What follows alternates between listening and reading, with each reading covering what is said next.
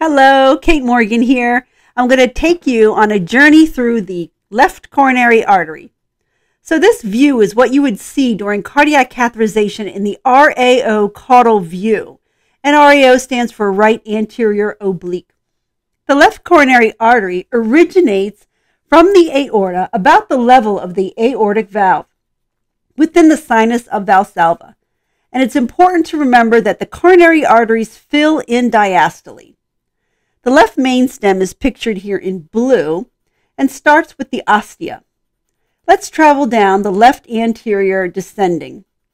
It's anatomically broken into proximal, mid, and distal segments using the diagonals as landmarks. The proximal LAD is pictured here in purple.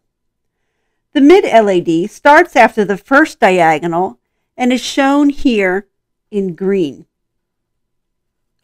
On the other side of the LAD are septal perforators. Now let's progress down to the pink area, which is the distal LAD, and this starts after the second diagonal.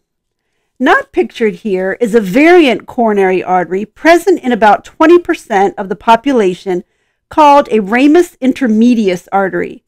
This is an additional artery that comes off of the left main, forming a trifurcation or a third branch off of the left main.